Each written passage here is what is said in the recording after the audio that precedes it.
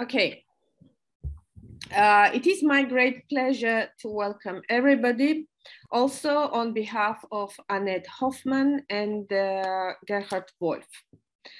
Uh, to the event of this Tuesday afternoon that is part of our series of lectures on the art of Georgia and more broadly the Caucasus.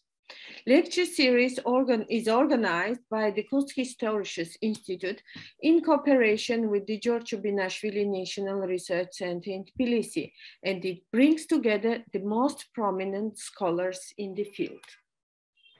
I'm especially delighted to welcome and introduce our today's speaker, Michele Bacci, professor of medieval art at the University of Freiburg, Switzerland, and a member of Academy of Europe. His broad research interests and academic uh, achievements are well known for many of us, but I will pay attention to some. Michele Bacci gained his PhD at Scuola Normale Superiore di Pisa, uh, in 1999 and was an associated professor for medieval art history at the University of Siena from 2002 before moving to University of Freiburg in 2011. Professor Bacci is the author of numerous studies on the artistic and cultural interactions in the medieval Mediterranean and beyond, as well as uh, on the history of religious practices associated with cult objects and holy sites.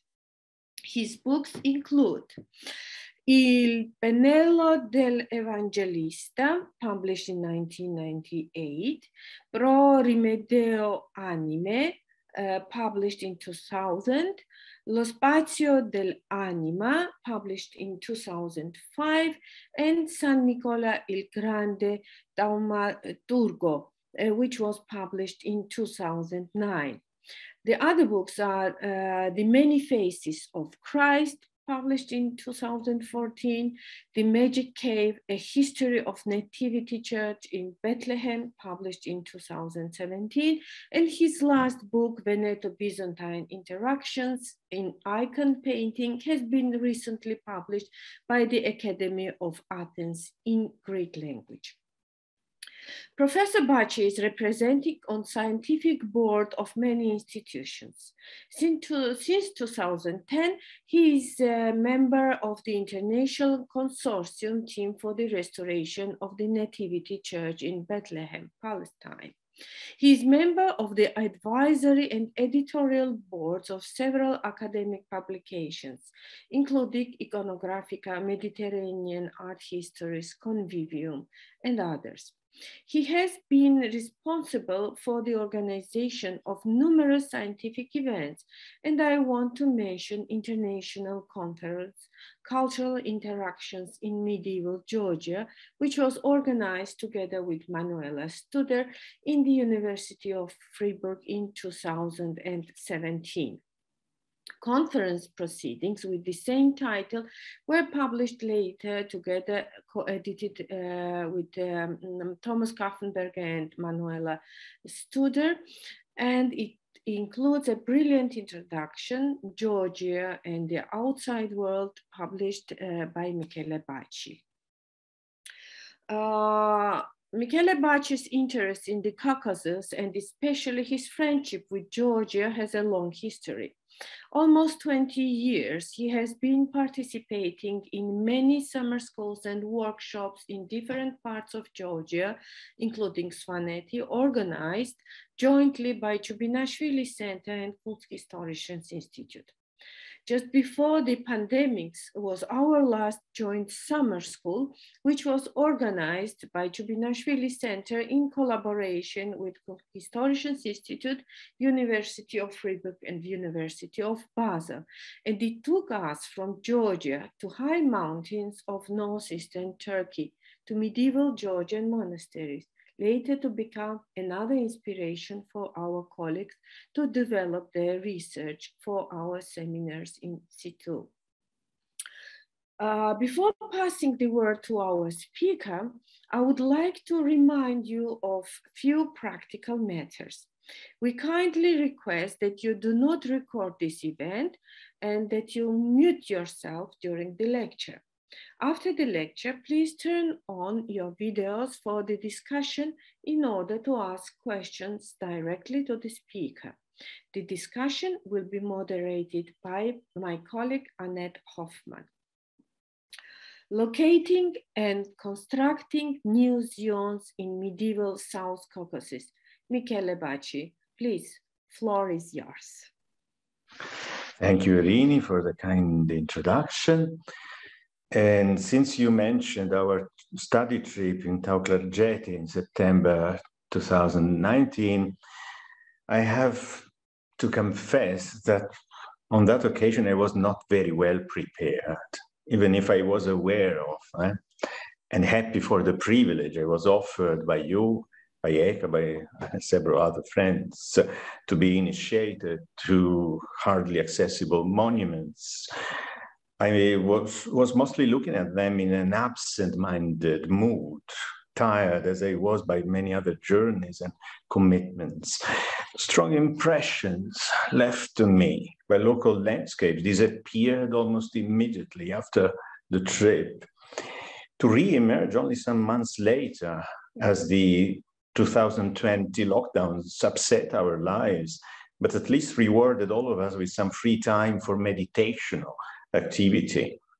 So, prevented from traveling, I started looking at my pictures and trying to make sense of them while seeking answers in several excellent studies published by Georgian scholars, many of which I was lucky enough to have in my personal library.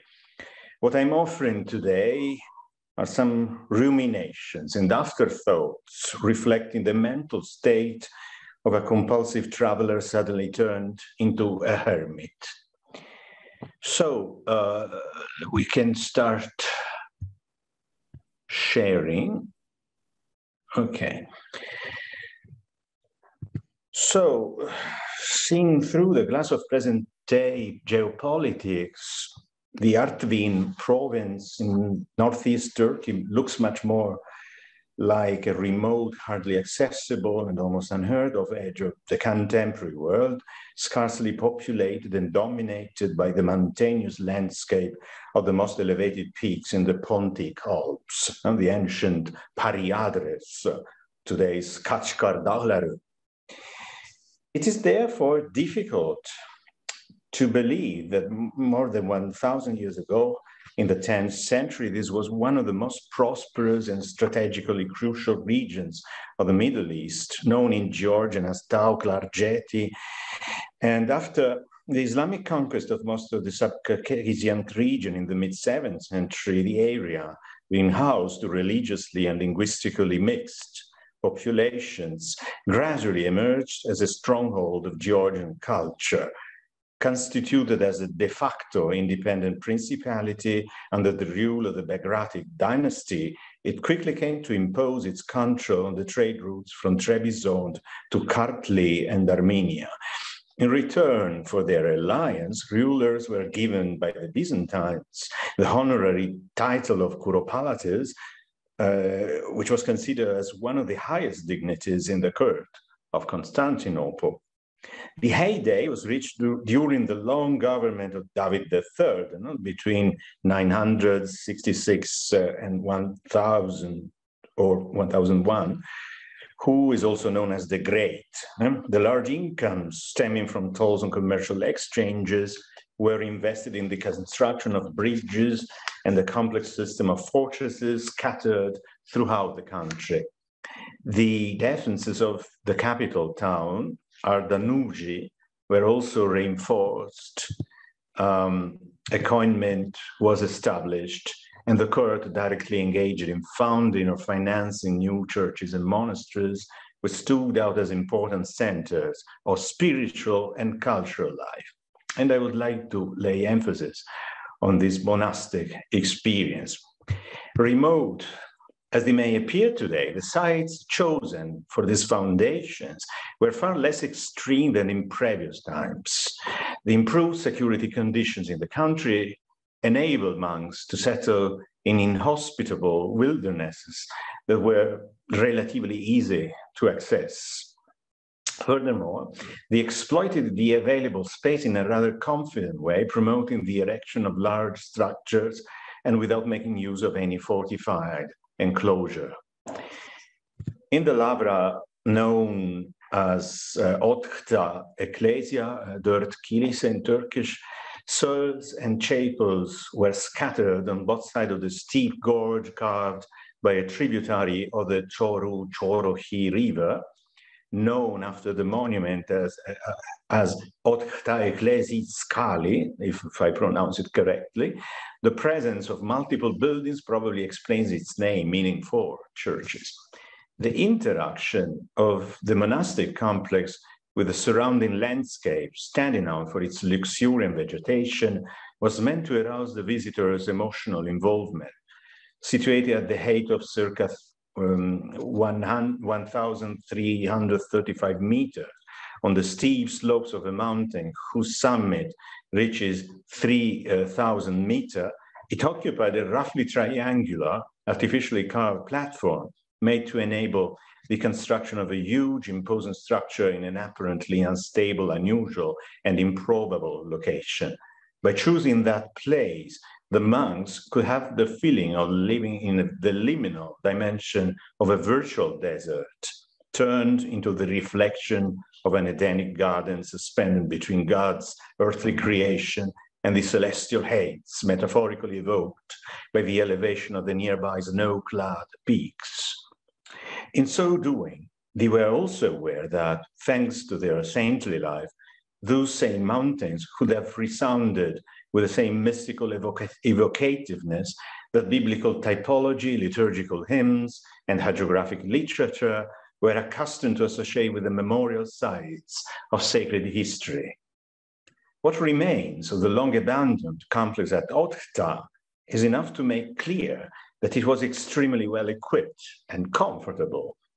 It included a wide refectory, a two-storied ossuary, and probably also a scriptorium, which were most plausibly meant for a large and wealthy community. The most important structure was the Catholicon. It was given the shape of a three-aisle basilica made of finely cut ashlar blocks and embellished on its exterior walls with elegant sequences of blind arcades. The overall dimensions of the building were impressive, especially on account of its astonishing height of uh, 22 meter. It stood out for a massive imposing appearance that seemed to visually surrogate the rocky awe-inspiring materiality of the mountain it was erected on. This impression must have been enhanced in the Middle Ages as today by its being mostly concealed by thick vegetation. The church appears suddenly in its full majesty after visitors had gone through the hoods and orchards that surrounded it. A few Som Tavruli inscription displayed on the external walls of the main church and an associated building bear witness to the association of the Lavra with David III and members of his court. Since in one of them, the ruler is simply evoked by his name, whereas in two cases he's remembered more specifically in his quality as Curopalates, it has been suggested that the works must have started in the first half of his rule, that's in the 1960, and have been achieved after 977 or 78, when he was granted the honorary title by Emperor Basil II. There are some archaeological and historical grounds, however, to assume that the present building was preceded by one or even two construction phases whose dating cannot be precisely assessed. Nevertheless, it is evident that the curve promoted its transformation into a distinctively monumental church whose old-fashioned architectural type, a three-aisle basilica with vaulted nave, could remind visitors of early Christian antecedents. It cannot be by chance that a building of approximately the same size and shape was erected also on the initiative of David the, of the court of David III in 973 as the Catholicon of Parkhali Monastery, which was situated on the northern slopes of the same mountain along another tributary of the Choruch and was connected via a pasture track to Otkta. This seems to indicate that the Kurd was particularly interested in promoting the whole area as a worship-worthy land. Site-bound holiness is a quality that is frequently perceived in association with regions that on some grounds are deemed to be separate, idiosyncratic, and liminal, that is marking a threshold between different levels of reality. Indeed, the Choruch basin was certainly borderline in political terms. Its roads led to Lazica to the north and to Speri, present-day Izpir, and the Byzantine Empire to the southwest. Furthermore, it also stood out as other areas of southern Tao for its mixed population, including both Georgian and Armenian-speaking groups. The region had long been part of the Armenian district of Taik and had been acquired in relatively recent times by the Bagratids, who, by the way, had been themselves originally related to the Bagratuni princely family of Armenia. The movement, initiated in the 9th century by Grigol of Khandzta and his followers, who established a Georgian bishopric at Ishkhani already prior to the political annexation of the area, strongly engaged in the imposing Chalcedonian belief. Through baptism, local Armenians were separated from the so-called Amatuni, later Hemshin, who lived on the northern slopes of the Pontic Alps and kept loyal to the Miaphysite creed before converting to Islam in Ottoman times. For the later, for the latter, the huge mountain that separated them from Tao was directly associated with their spiritual life. Its Turkish name, Mount Kachkar, is clearly the corruption of the Armenian word khachkar, meaning cross. Indeed, a monastery of the cross Hachekarvank or Hachevank on its northern slopes, close to the place known today as Hachinavak, is known to have been visited as a pilgrimage shrine until the late Ottoman period. It has been suggested that this may be identified with the old diocesan see of Hachekar, that some colophons of the 15th and 16th century um, manuscripts locate in a monastery consecrated to Saint Hachihol, probably the founder, whose relics were worshipped there with those of the Armenian martyr king Vartan Mamikonian and his comrades in the two chapels, um, in two chapels, one dedicated to the Virgin and the other to the Holy Zion, Surb Siovn. If this identification proves true, we should assume that the cross epithet resulted from the gradual misunderstanding of the original dedication even if all the evidence we have on this monastic establishment is relatively late, it can be assumed that it was strongly rooted in collective memory if there was no break in its public worship, even after the Hemshin Armenians were converted to Islam. Resilience to cultic oblivion may have been largely due to the long-standing cross-cultural understanding on the wider area of the Kachkar Massif as invested with a superlative degree of holiness. Undoubtedly, it owned all those characteristics that, according to Grigol of Khandzta, were to be expected from monastic deserts. In his view, they had been established by God as special spaces that interrupted the earthly surface and had been reserved since the days of creation for the settling of monks fleeing from the seductions of profane life. Far from being inhospitable and extreme, such natural refugees uh, were rich in vegetation and water, benefited from a mild weather, and lacked proper roads, so making any access uh, difficult to those living in the world. If the latter had to be renounced and abandoned, it was one such desert that had to be sought for. Escaping to mountain monasteries was regarded as an option even by members of the aristocratic elite who became disenchanted with political and military life. A close friend of David III, who in keeping with his time's fashion, bore the Arabic name of Abul Herit and was a cousin of the famous general Ioane Tornic, retired in the 1960s to the Lavra Ovotta Ecclesia, where he devoted himself to ascesis and came to be known as Father John Ioanne. His life, written by Georgi Tatsmideli in uh, uh, 10,044-45, um, is the first source to mention the monastery. It must have been perceived as a very isolated and therefore superlatively holy area if it could be chosen by a public person who aimed to hide himself from the world and be closer to God. Soon, his extraordinary commitment to contemplative life, unexpected from a nobleman, filled the other monks with wonder fearing that this may induce him to commit the sin of arrogance. He spent the subsequent years, as other ascetics had done before him, in seeking the mountain where he could be protected from any temptations. So, after a period on Mount Olympus in Bithynia, he finally arrived with his son Evktime, Euthymius, in the Athos Peninsula, where he founded the small Georgian cenobium of St. John the Evangelist near the Great Lavra, which was replaced in 979 by the much larger Iviron monastery erected with the support of the Byzantine court after the defeat of the rebel general Bardas Skleros that had been made possible by the intervention of David III. For these monks, the mountains where they chose to settle were overladen with symbolic meanings, which offered important clues as to their interpretation of reality as interspersed with divine signs. The perception of orographic prominences as separate worlds that were turned into anticipations of paradise through the agency of ascetic life was strongly informed by hagiographic narratives on the deeds and virtues of the Holy Fathers of old, which were read as soul benefiting exemplar. Their massiveness and steadiness were viewed as a natural metaphor of the eternal life promised to those who committed themselves to Christ.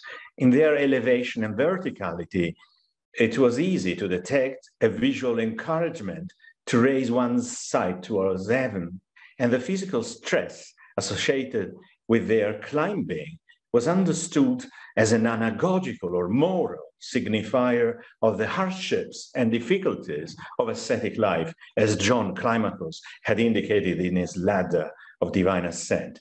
Furthermore, when glancing at prominent rocks and peaks, sedulous readers of the Holy Scriptures could hardly refrain from linking them with the distant mountains where God had revealed himself to mankind.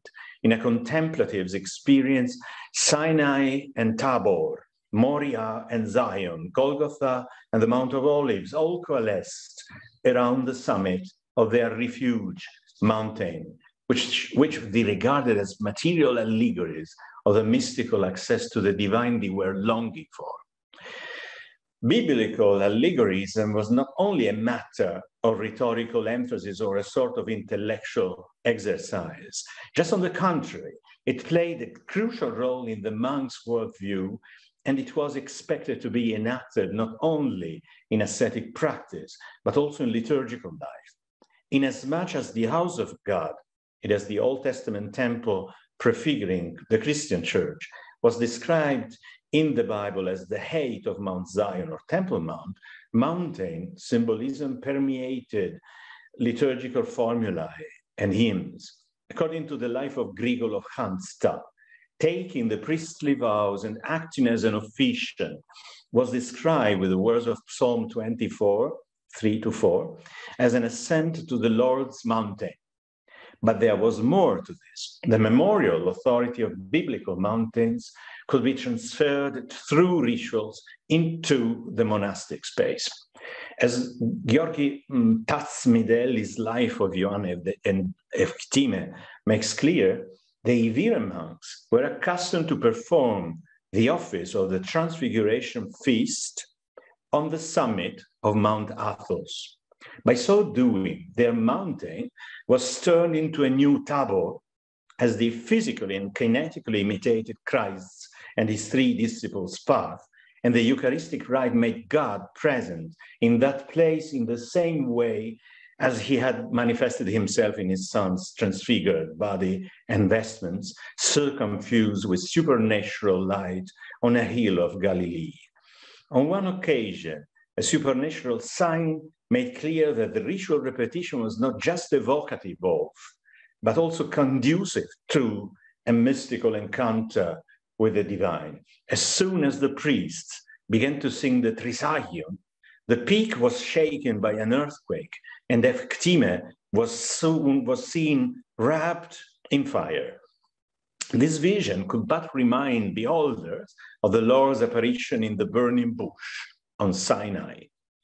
And since uh, the latter was the site of God's revelation and alliance with the Jewish people, it was described in Christian exegesis as foreshadowing the manifestation of Christ's divine nature on, te- on Tabor.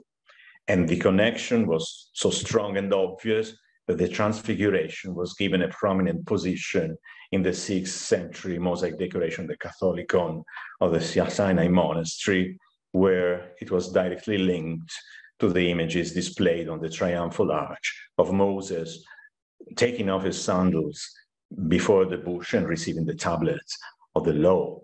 All this is known uh, from uh, a wonderful article by Gerhard, Gerhard Wolf. The message conveyed by the Sinai mosaics was undoubtedly very efficacious. As Anastasius of Sinai stated in his homily on the Transfiguration, the liturgical commemoration revealed another Sinai, or rather a mountain much more precious than Sinai in its miraculous reality, surpassing those symbolic shadowy visions of God with divine revelations that are closely modeled on them. What was initiated on Horeb was contemplated on Mount Tabor. If on the former, the sight or spiritual understanding of the Lord had been imperfect and incomplete, like a glance through mist and clouds. On the latter, the divine mysteries had been made visible as a preview of both Mount Golgotha, that through the Son of God's sacrifice and resurrection redeemed mankind from the original sin, and Mount Zion, that is the establishment of the ecclesia that enabled human access to the kingdom of heaven, the upper Jerusalem. In keeping with St. Paul's letter to the Hebrews, chapters 8 to 10, the relationship of the old and new alliances was described in terms of contrast between shadow and image, partial and full vision, materiality and spirituality, as well as hiddenness and accessibility. The Lord's presence in an earthly place had been replaced by the Savior's glorious body. Mount Zion had been superseded by the heavenly Jerusalem, and Solomon's temple could now be simply regarded as an imperfect anticipation of the shrine not made by human hands, embodied the, by the community of believers. Biblical allegorism was viewed by monks as a useful way of describing their experience since it was invested with a strong anagogical efficacy. In its etymological sense of being brought upwards, anagogy meant elevating themselves from the imperfect and incomplete state of human nature to the fullness of spiritual seeing the kinetic implication of the ascent, metaphor were all pervasive. Adopting monastic life meant physically climbing a mountain, and in so doing, one could easily believe to follow Isaiah's invitation to go up to the mountain of the Lord, to the temple of the God of Jacob, along paths that God Himself could have shown. As the life of Johann de Eftime made clear, all the activities associated with monastic life, such as founding a monastery, endowing it with properties, erecting a church looking like heaven, embellishing it with the splendor of worship-worthy images, creating a community of brothers looking like angels, and establishing a scriptorium committed to the translation of religious books, were the final achievement of the same prophecy, stating that the law will go out from Zion, the word of the Lord from Jerusalem. In the case of Zion, the mountain metapha combined with the evocation of an architectural structure, that of the Jerusalem temple, whose erection had been decided by David and accomplished by Solomon. In Israelitic antiquity, and until its destruction in 70 AD. This one, located on the top of the Ophel hill, had been described as God's dwelling on earth. And it was there, in a precisely defined spot of geographic space, that the interaction of the human and divine dimensions based on the dynamics of sacrifice could take place. In Byzantine times, the area had been intentionally left empty uh, and in a ruinous state, in such a way that visitors could be dramatically reminded that the Shekinah did no longer reside there. In the fourth century, the memorial, locative, and site-bound qualities of the old temple were transferred to the site of Golgotha, which stood on the southern western hill and uh, uh, on a more elevated height than the Temple Mount. The rock of Christ's crucifixion was artfully shaped in such a way to make it look as a steep, stylized, and miniaturized mount. Later on, in the second half of the century, Christians promoted a new localization of Mount Zion on the southernmost edge of the western hill, again on a position dominating the Ophel, and erected there a huge church that, unlike the Holy Sepulchre, the Eleona Basilica, derived its prestige not only from its role as a mnemotopos of biblical events, but also from its description as the place where the first Christian liturgy that is the Last Supper, had been performed. Therefore, it could be rightly viewed as an archetypal ritual space, praised as the mother of all churches and said to have been constructed by the apostles. Dedicated to the Holy Zion, Sion, it stood out for the imposing dimension of its longitudinal planned building. In a homily by Bishop John II from 394, the place was celebrated as both a reflection of the heavenly Jerusalem and the monumental embodiment of the ecclesia notion that had been foreshadowed by the Sinai tabernacle and Solomon's temple, as well as many other scriptural types.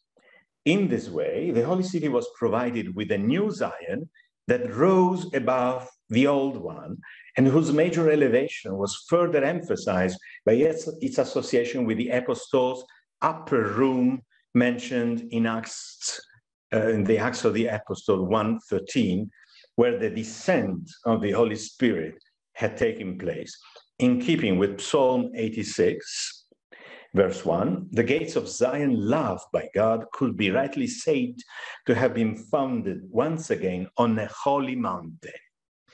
Virtually every Christian church could be perceived as conflating the multiple spatial, memorial, ritual, and typological meanings condensed around Jerusalem's new Zion. In this sense, when a consecrated building was compared or even dedicated to the Holy Zion, it was almost self-evidently understood as a, as a mnemonic indicator of all the biblical topoi it was related to. In 6th century Lycia, a monastery erected on the summit of a local mountain and dedicated to, the Holy Zion, became the center from which the conversion of rural population in the countryside of Myra was accomplished. In the life of the saint who took his name from it, Nicholas of Mount Zion, it was said to be a divine dwelling inhabited by the dynamis of God's presence and a replica, antitypos, or better, perhaps a reflection or surrogate of the Jerusalem church, by the, by the virtue of which demons were expelled from the trees and springs venerated by peasants. Its location was revealed by an epiphany of light from heaven, which was intended as a memorial sign and a place of propitiation for the sins. The term employed, hilasterion, was the same used in the Greek Bible for the atonement cover of the Ark of the Covenant, on which the Shekinah manifested itself, and by John II in his homily to hint at the newly erected church in, the, in Jerusalem. For the anonymous geographer, the Zion title had the power of turning the local most prominent height, today's site of Al-Jahisar, into a new Sinai, a new Jerusalem, and an anticipation of the kingdom of heaven. In much the same way, it is likely that before the Solomonic kings of Ethiopia, who were said to descend from the Queen of Sheba, claimed possession of Moses' Ark in the late 15th century, the dedication to Mariam Seyon of Aksum Cathedral may have been meant not so much to describe it as a direct heir to Solomon's temple, but rather as an equivalent to Jerusalem's first consecrated church. In the Sub-Caucasian context, Holy Zion's symbolism was not less pervasive. This was certainly made easier by the strong impact of the Jerusalemite or Hagiopolite rite on local liturgical habits, regardless of theological distinctions. In the late 7th or early 8th century, an anonymous Armenian homily praised the monastery of Mount Varag for its state of distinctive worship worthiness associated with a relic of the Holy Cross that had turned that mountain into a veritable second Zion and Upper Jerusalem greater than Sinai. Not far from there, in circa 901 to 2, Prince Gagik Artsruni of Vaspurakan became committed to invest his newly conquered capital, Van, with a superlatively sacred status by erecting a church consecrated to the Holy Zion that is in Jerusalem, a two-storied building that included altars dedicated to Golgotha, the resurrection, the ascension, and, and I quote, the upper room of the mystical celebration of the transmission of the new covenant, end of quote. Quite explicitly, the Zion dedication was here meant to surrogate the most important loca sancta in the Holy City yet in the aim not so much to establish a local form of site-bound web of pilgrimage sites, but rather to enhance the prestige of the local church by evoking the main liturgical stations of the Enkenia octave, September 13th to 20th in the Jerusalem light, rite, which commemorated the dedication of the main town shrines, Martyrium, Anastasis, Eleona, and Holy Zion. In the collection of early Georgian chronicles, known as Kartlis Tskhovreba, and especially in the probably 9th century life of Vakhtang Gorgasali, the Sveti Cathedral in Kartli's capital, Mtskheta, was characterized as both a holy of holies, that is a place of worship worthy, as worship worthy as the inner room of Solomon's temple, and a great or holy Zion, the dedication to the 12 apostles made clear that this latter expression did not simply hint at the Holy City as a whole, but also more specifically at the mother of all churches located on its southwestern hill. The 8th and 9th century conversion of Kartli described it as the place of Holy Zion and the house of God, which was invoked by believers as the personified addressee of their prayers and offerings. The Zion dedication conveying the idea of the Christian ecclesia as a new Mount Zion and a new temple was repeated in the many Sioni churches erected in the country at Samshvilde, Bolnisi, Tbilisi, Ateni, and elsewhere. Not infrequently, they also stood out for their longitudinal plan structure, which may have echoed the architectural form of their Jerusalem archetype, or at least it would be tempting to think so.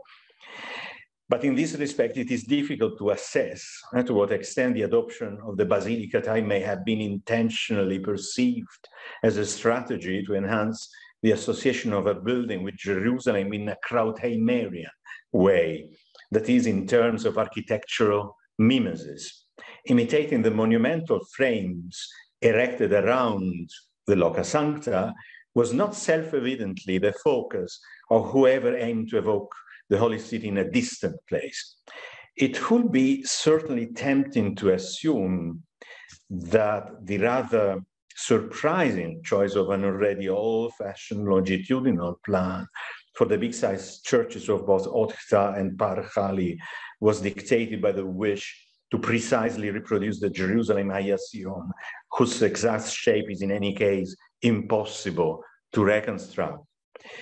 If central planned round or polygonal buildings like Bana Cathedral in the Penek Valley could more easily remind beholders of the Anastasis Rotunda, it cannot be ruled out that some connection with the Zion church may have been detected also in large basilicas.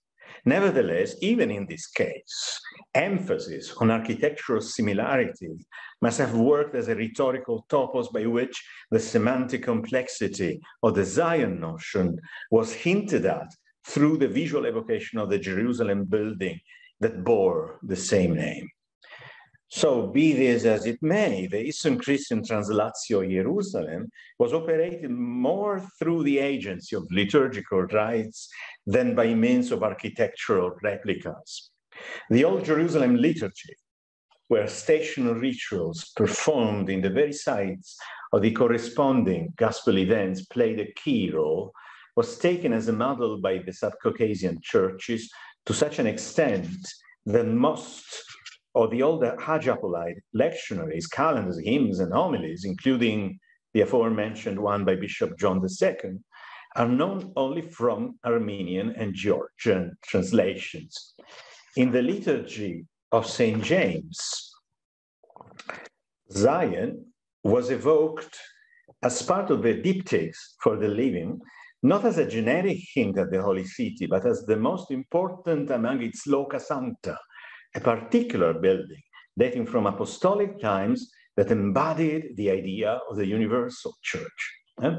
So we offer you, O Lord, this awful and bloodless sacrifice for your holy places, which you have glorified by the appearance of your Christ. First of all, for the holy and glorious Zion, the mother of all churches, and throughout the world, for your holy Catholic and Apostolic Church, grant her the gifts of the Holy Spirit in abundance. As the archetypal consecrated building in the Holy City, the Zion Church was understood as a metonymic signifier of the church as both community of believers and ecclesiastical institution which anticipated the heavenly Jerusalem and had been prefigured by the revelation of Sinai, the Ark of the Covenant, and Solomon's Temple.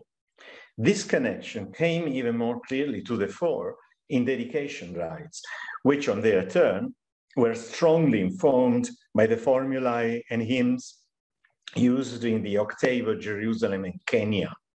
On the third day of this feast, September the 15th, the Ordo, originally performed on Mount Zion, included a reading from St. Paul's letter to the Hebrews, 8, 7 uh, till 9, 10, which contrasted the old with the new covenant and emphasized the incompleteness and inadequacy of the rites performed in the temple. In particular, it clearly suggested that the new Zion was the holy site where Jesus, as a high priest according to the order of Melchizedek, had performed the sacrifice of the age of grace. This contrast would even be more pregnant if, as some scholars have suggested, the Enkenia did appropriate features of the Jewish Yom Kippur festival, also occurring at the beginning of autumn. In a homily, probably written in the ninth century, Bishop John of Bolnisi, whose cathedral was a Sioni church, explained that the Holy Zion, founded by the apostles, superseded the old temple since it had been repleted with God's presence by the descent of the Holy Spirit on the apostles' heads in the form of tongues of fire. There, David's prophecy was accomplished as not only the Jews, but all nations were flocking there to prostrate themselves before the Lord.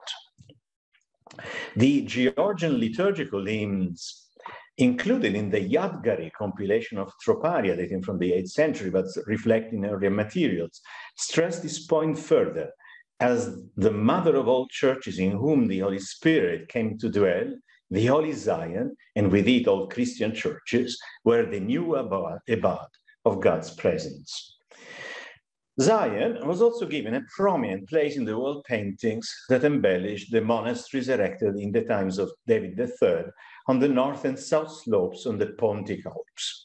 The Parkhali murals, dating from circa 973, and now almost completely vanished, but known from Nicolae Ocune's photographs uh, dating from 1917, and those at Otkhta Ecclesia that are still readable, albeit in a lamentably decaying state.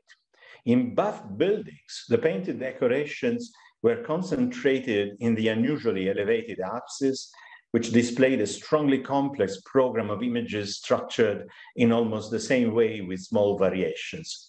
The conch was reserved for a theophanic representation of the glory of God, with Christ shown within a mandorla of light, flanked by angels and symbols of the tetramorph. The composition hinted at both Ezekiel's uh, vision of the new temple and the apocalyptic revelation of, to John of the heavenly Jerusalem visually merged with the ascension scene displayed on the upper layer of the Alps. In Otkhta, however, a representation of the angelic hierarchies worshipping the Hetoimasia, Christ and the throne, symbolizing his second coming, was interposed between the two scenes, thus investing the program with a more evident eschatological nuance. The lower portions of the semicircular walls were rendered in a slightly different way in the two monastic churches, whereas Parkhali reserves the upper row for the prophets that announced the Messiah, and two lower ones for a very detailed cycle of gospel events, Otkhta leaves all the upper space to the ascension and occupies the lower portion with a procession of Old Testament figures and church fathers headed by David and Solomon, and an abridged uh, selection of Christological scenes. In both buildings, the real focus of the whole program corresponded to the central large window whose thick intrados was decorated with images that being located on the most constantly illuminated and therefore immediately eye-catching part of the apse, were clearly given a very special emphasis. The evidence provided by all photos is enough to confirm that uh, the same subjects were represented also at Parkhali, even if they are certainly better readable in Otkhta. In a sense, these paintings, sorry, these paintings worked as a figurative frame to the sunshine penetrating to the sacred space, which itself was perceived as a metaphoric light embodying divine presence. It was toward this light that Moses, represented to the left, receiving the tablets of the law from God's hand on the summit of Mount Sinai, turned his head in such a way that he was attributed a posture contrasting with his body's climbing movement. If it was common to lay emphasis on the prophet's incomplete vision, which according to Exodus uh, 33 um, was limited to the Lord's backside, by showing his eyes looking downwards, the choice to show him thoroughly averting his sight from the divine revelation is certainly very idiosyncratic and seems to suggest his recognition of the fullness of contem contemplative experience granted to believers in the age of grace. On the left side of the window stands a bearded figure uh, whose interpretation is less obvious he stands close to a structure that is covered with a thick imposing drapery and houses an altar over which he is pouring a liquid from a vessel, whereas he holds a mysterious object, possibly a bread, in his left hand. Most scholars, including Zaza Skhirtladze in his uh, 2009 monograph, suggest the identification with Melchizedek, the king of Salem, who had blessed Abraham and was described in St. Paul's letter to the Hebrews 7 as a forerunner of Christ in his priestly role, even if Aaron, in my view, the archetypal Levite, is, uh, um, is also a good candidate. The two Old Testament figures are frequently associated and are attributed similar vestments and facial features.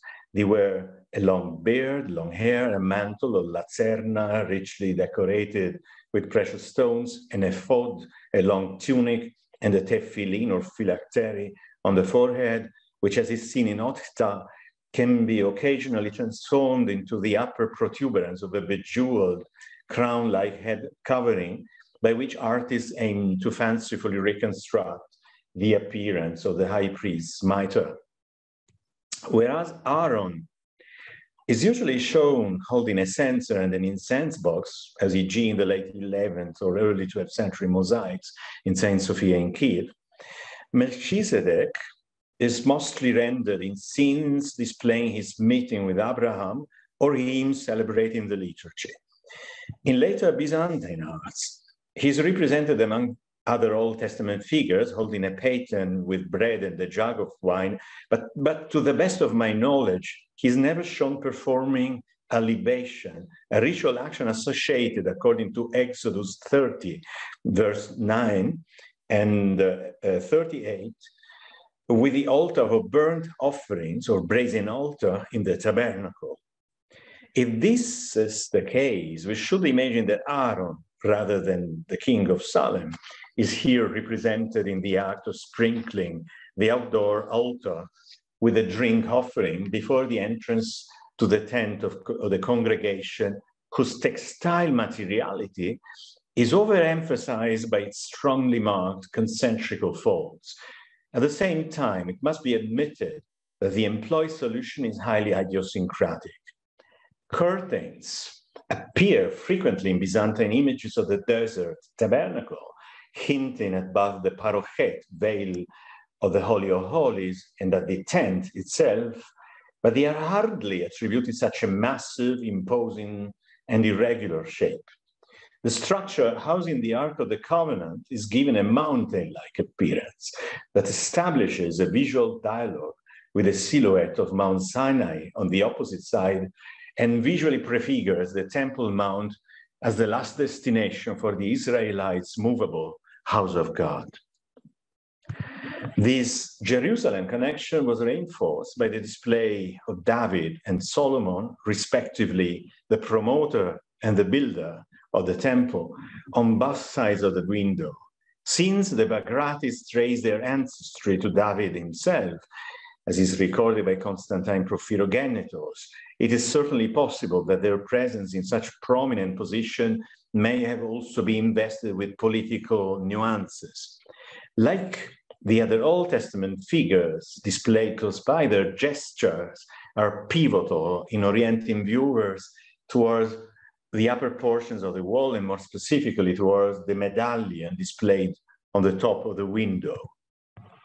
This one is flanked by cornucopias and houses a half-length female figure holding a church model that reproduces the basic architectural features, longitudinal plan blind arcades, of Otkhta Ecclesia and its twin building at Parkhali. She wears a precious mantle and a decorated tunic, and her head is embellished with a tall bejeweled crown. An inscription in Mrgvlovani script declares her identity unequivocally. She's Sioni, the Holy Zion. As scholars rightly pointed out, the image personifies Zion in its multiple meanings as the community of believers or ecclesia, as the wisdom of God, Sophia, and as the kingdom of heaven. Similar, though not identical, solutions are found in Byzantine illuminated manuscripts, such as the 9th century Chludov Psalter, where she is directly associated with the representation of the Holy City, or the 11th century Barberinus Graecus 372 of Vatican Library, which displays her enthroned and garbed as an empress. The most striking feature at Otkhta is the odd-shaped crown she wears on her head. On iconographic grounds, it can be assumed to derive from the mural crowns that were used in antiquity as attributes of a city's tiche. In Roman times, the tiche of Aelia Capitolina, as Jerusalem had been renamed, was represented in a similar way with a turreted diadem and a cornucopia. And similar images remain popular in Byzantine Palestine, as is indicated by 6th century mosaic in Beth Shean and a contemporary marble image from a church in Horvati Shemet. Indeed, the symbolism of the mural crown largely permeated the biblical text. Isaiah described the city as a crown of splendor in the Lord's hand, a royal diadem in the hand of your God, and as a future queen that shall ascend to the throne and clothe herself with the strong and beautiful garments of her imposing walls. The formulae used in the ancient Hagiopolite liturgy for the third day of the Enkenia feast, commemorating the dedication of the Zion Church, also laid a strong emphasis on this royal association, as is best exemplified by one hymn preserved in the Armenian Sharaknots. As you see, rejoice today, O Holy Church, and celebrate your feast, O daughter of Zion, for the Lord was pleased to dwell in you, the God of our fathers. Rejoice, Queen, daughter of Zion, and exalt of supernal Jerusalem, for Christ the King of heaven is coming to you, etc. Rejoice, Zion, Mother Church, for upon you the divine ray from the Father of light has shone, etc. A similar view of the mother of all churches as a crowned queen is repeated in the hymns for the Enkenia preserved in the Georgian Yadgari. Today, all the faithful rejoice, and the Holy Church is crowned, for in it uh, the Holy Spirit has made um, his dwelling. In keeping with this characterization, the personification of Zion appears in all her glory in a dominating position. The prophets and saints of the Old and New Alliance converge towards her, who supersedes and replaces the sides of divine revelation that had foreshadowed the Christian church in all its multiple meanings. Through the attribute of the church mother that also works as a synecdochical signifier of the lavra itself, she indicates that Otkhta Ecclesia is not only a spot on the earthly surface, but also a new divine dwelling where God is metonymically made present through the agency of liturgical performance and, litur- and monastic life. Her image is connected along a vertical line with the Virgin Orant, the Hetoimasia, and the Lord's glory in the conch. Below is the opening of the window whose narrow, elevated shape culminating in a round arch seems to visually interact with the summit of Sinai and the spherical top of the tent of the covenant. Apart from introducing light with all its metaphorical associations into the altar space, it also contributes to orientate the perception of the painted program. Far from showing the outside sky, it frames a segment of the steep rock wall on the opposite side of the valley and reshapes it into the image of a stylized, geometrically rendered mountain, which comes in this way to interact with the close by images. The symbolic desert, inhabited by Georgian monks on its northern and southern slopes, and by Armenian ones on its eastern side, was thus celebrated in its role as symbolic signifier of spiritual elevation as the holy mountain on which as stated in Psalm 86 and repeated in dedication rites, the gates of Zion had been steadily founded. I thank you very much for your attention.